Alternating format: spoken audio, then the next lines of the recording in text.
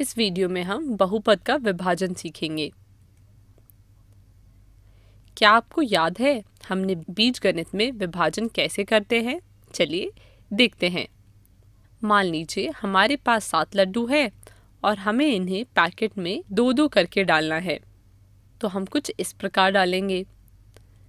तो यहाँ हमारे पास तीन पैकेट में दो दो लड्डू आएँगे और एक लड्डू बच जाएगा। यानी कि हमने सात को दो से विभाजन किया। तो हमें भागफल तीन मिला और शेषफल एक। क्या आपको याद है हम यहाँ सात और दो को क्या कहते हैं?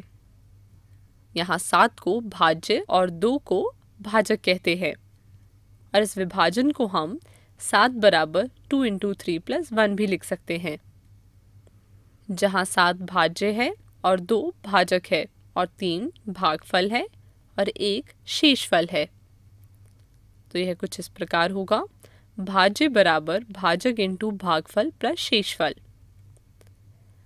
आपने यहाँ देखा कि हम संख्याओं को एक दूसरे से कैसे विभाजन कर सकते हैं। तो क्या हम इसी प्रकार बहुपद को भी विभाजन कर सकते हैं? जी हाँ हम बहुपदों को भी विभाजित कर सकते हैं।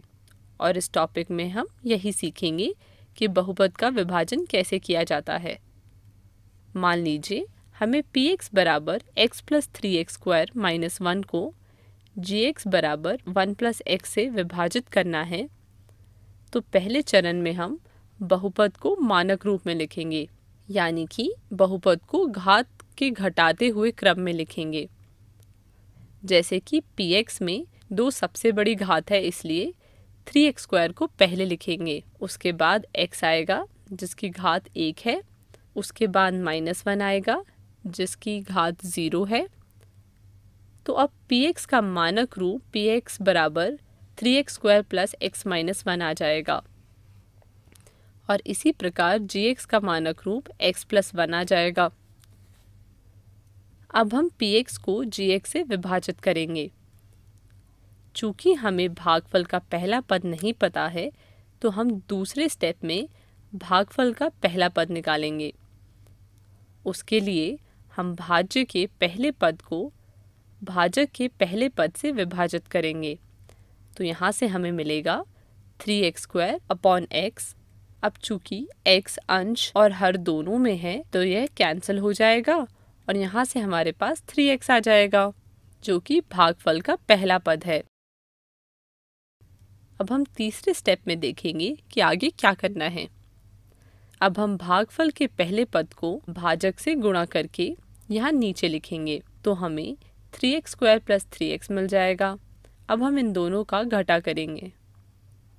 इसके लिए अगर यहाँ पर प्लस का चिन्ह है तो उसे माइनस कर देंगे, और अगर माइनस का चिन्ह है तो उसे प्लस कर देंगे। जैसे कि यहाँ पर प्लस का साइन है तो इसे माइनस कर देंगे, और यहाँ भी प्लस है तो इसे भी माइनस कर देंगे। अब पहले दोनों पद एक दूसरे से घटकर शून्य देंगे और दूसरा पद घटकर हमें माइनस टू एक्स देंगे और माइनस वन ऐसे ही लिख दिया जाएगा, जिससे हमें minus two X minus one शेषफल मिल जाएगा। अब हम शेषफल minus two X minus one को नया भाज्य कंसिडर करेंगे और x प्लस वन से विभाजित करेंगे।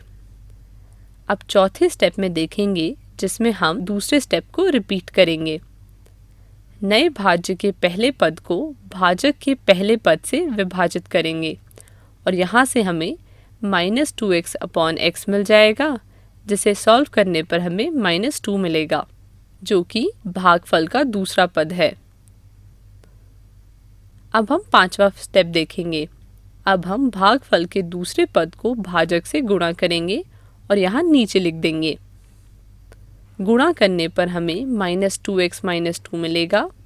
अब हम इसे घटा करेंगे तो माइनस प्लस में चेंज हो जाएगा और हमें वन मिल जाएगा। यहाँ पर देख सकते हैं कि शेष फल का घात शून्य है और भाजक का घात एक है। इसलिए हम कह सकते हैं कि शेष फल की घात छोटी है भाजक की घात से। और यहाँ से हमें भागफल थ्री एक्स माइनस टू मिल जाएगा। और शेषफल वन मिल जाएगा। और हमें पता है कि three X square plus X minus one भाज्य है और x प्लस वन भाजक है। तो हम इसे भाज्य बराबर भाजक इंटू भागफल प्लस शेषफल भी लिख सकते हैं।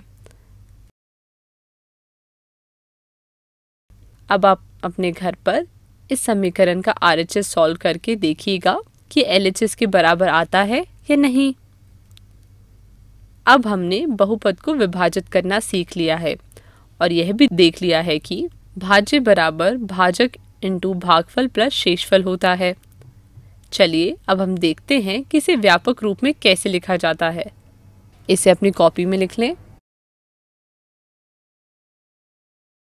तो हमने यहाँ पर बहुपदों का विभाजन देख लिया। धन्यवाद।